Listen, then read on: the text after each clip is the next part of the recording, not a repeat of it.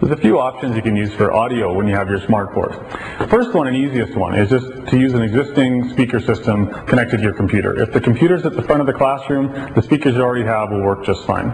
If you have an FM system already in your classroom, talk to your ITS tech about getting your computer hooked up to your FM system so that it runs through the existing speakers in your classroom. This makes the most use of the existing equipment you already have and is um, really efficient.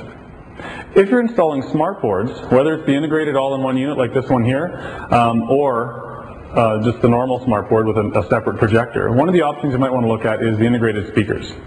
This is nice because it's all part of the smart board and it has a built-in volume control right here so you can turn on and adjust the volume for whatever it controls the volume back to your computer.